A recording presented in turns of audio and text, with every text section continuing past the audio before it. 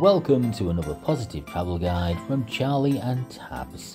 And we're at the Four Seasons Hotel in Limassol, Cyprus, where the Cyprus Eating Awards of 2023 have just taken place. And this is an award winning hotel with award winning chefs.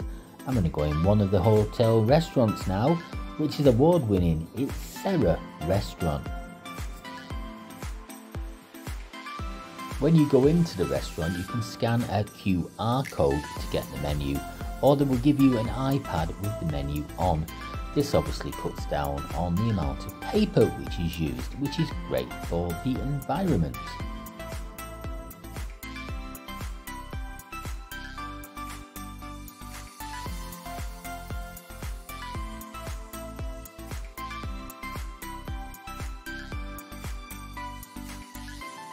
And I was here in this restaurant with Tabz and our friend Carly. Carly had this for her starter, I had this, and Tabz had something which got him rather excited. Oh, beautiful, delicious. Whoa. Main course, I had a beautiful lamb dish with some rosemary potatoes and a beautiful gravy. It was absolutely delicious. And Tabz and Carly had the steak. For pudding, I had a chocolate cake which I must have demolished because there's no picture proof of it. And Carly and Tabz had a tart each.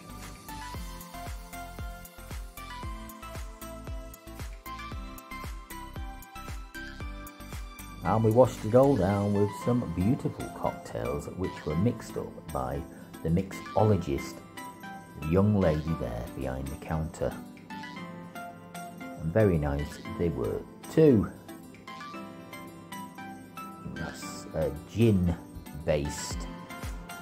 Uh, and Carly had a, an espresso martini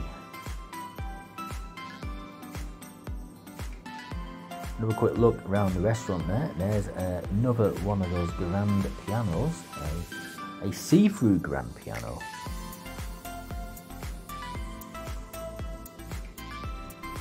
Really beautiful restaurant.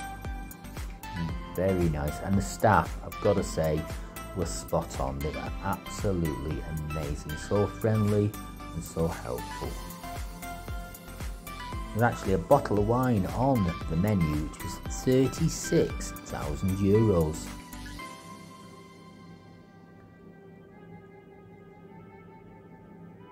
My house isn't worth that much. And look at that handsome man there.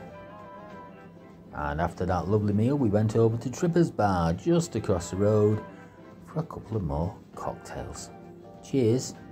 Until next time, bye for now.